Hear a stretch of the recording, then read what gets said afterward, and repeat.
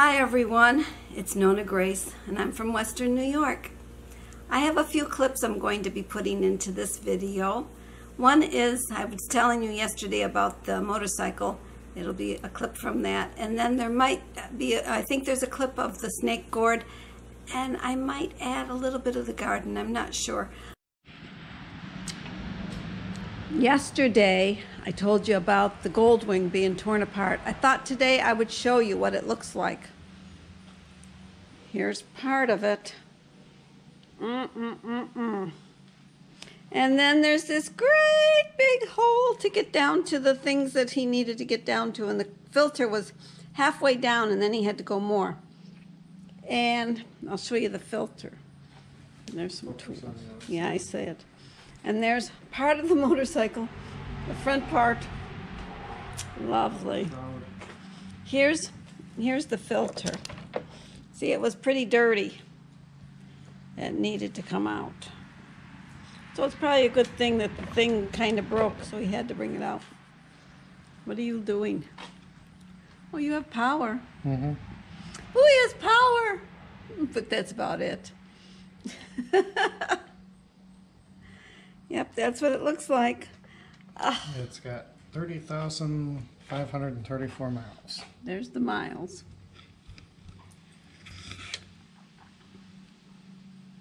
And it's a 2010. Mm -hmm. So while this one is sitting here all torn apart, this is the one he drives to work. Okay, I don't know if the lighting is right. I'll go on the other side.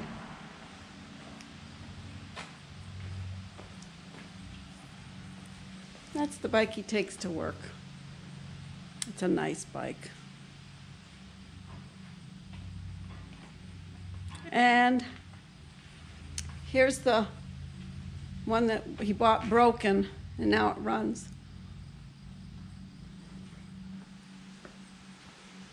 He keeps the battery tender on it.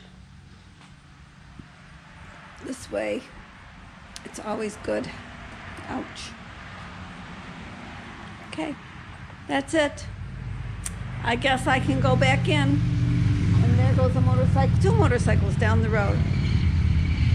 Oh, three motorcycles. I missed them. Today I was watching Farmer G and he showed his snake gourd. If you see my trellis has worked real well with holding my snake gourds up. But what I want to show you is everybody's snake gourds are real skinny. Mine Mine are kind of fat. See, there's a, there's a snake gourd. If you notice at the top, and then they get bigger at the bottom, they're not as long as theirs are. And then I have one there, and one there. See how fat they are on the bottom? They're just fat. And here's one. And you see, they're, they're huge. They're very big. But they're not as long. They're just more fat than they are long. And there's tons of tomatoes in through here where I let the tomatoes just grow and grow and grow. There's tons of them. And so what I'm going to do is I'm going to come out here and with a bowl and pick a bunch of them, eat the ones that are good and give the rest to the chicken. Look at this. Lots of, these are all self-seeded tomatoes. But I wanted you to see my, my snake gourd. My snake gourds are so different than everybody else's snake gourd. They all have real skinny ones. And then I've got some new ones. Woo, it's bright out here. Can't see real well. There's some more little ones we were seeing up in there. I don't know where they are. Um, I can't find them now. Oh, right there, there's a little one coming. Right right here. I don't know if mine got it or not. There's a little one coming there, and there's more blossoms coming. So if the season is long enough, we could have more. It's actually holding up my sunflower that has fallen. The heads are so heavy now that they've fallen over. But there's so many tomatoes in here. Look at these tomatoes. I didn't plant any tomatoes this year because of all the tomatoes that were over here.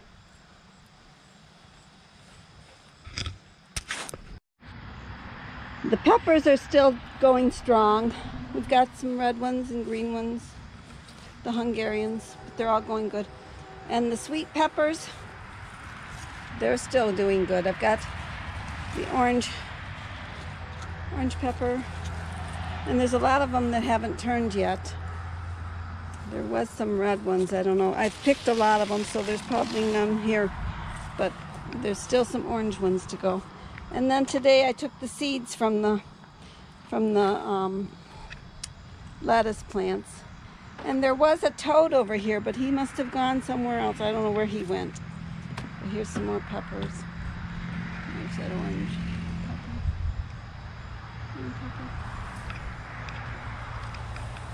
Another one down in there. Hello. I'm down hiding. And who else do I see in the garden? Oh no, it's Mr. Jim. He's pulling weeds around his bushes that he's planted. Ones that I put in You put them in a long fall time.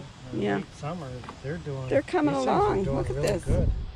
They're doing really great. That, but uh, the currants didn't take. The they currants didn't take. No.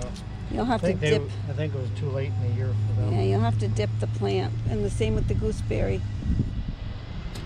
When we went out to look at the snake gourds, and when we came back in, I said to Jim, I says, I'll hold your hand. And I was holding his hand as we were walking back, and I said, You know, when we were dating, this would have been an exciting moment. But where's the spark? And he says, Oh, you don't love me anymore. And I go, I do love you.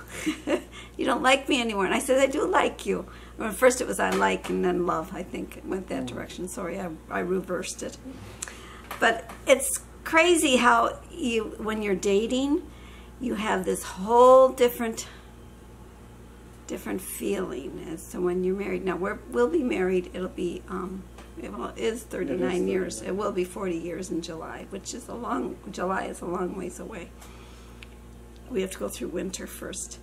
But it was. Um, I was thinking of that. How, how about you? Do you still have that same spark? I know there's a lot of times he'll look at me and I will smile and I get that glimmer in my eye because I just do. But where's the electric in the hand? That's kind of disappeared. That's what I was wondering. What? Where did that go? Where did it go? And then there was another thing I wanted to talk about. That that was on the way back from the snake gourd. But the earlier, what my topic was going to be about was running away from home. I was She really did. and I really did run away from home. Um, I was watching the L Family. It's they're it's they're so darn cute. The kids are so darn cute. They play act a lot, and the the mother of this these kids are adorable too. She just is. It's it's a lot of play acting that they do, and it's a lot of fun to watch them. Well, she was doing um, a video that said "just annoying my daughter," and it made me think of.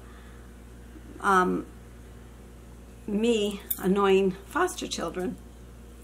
And what had happened is I, I used to get the teenage girls, and they were all from the city, and they were always running away. Well, the city of Jamestown is where they were from. If that's a, I guess that's a city. It's a city. Yeah. They would bring them out to the country because in the country, kids are less likely to run away. Well, if they've got it in their feet to go, they're going to go. I've had kids come in the win- in the door and go out the window before the police officer even has left the house, and they're gone. But one day, when um, the girls were getting antsy, this one girl she put on a pair of red socks, and I knew, oh, the red socks mean she's running. And um, so um, she and another girl were planning on taking off. So my mother happened to be here doing her laundry, and I says to my mom, I says, um, the girls are going to be running away, so I'm going to run away with them. And after I've gone for an hour, if I'm gone more than an hour, call the police to come find me. So I tell the girls, wait a minute, I'm coming with you.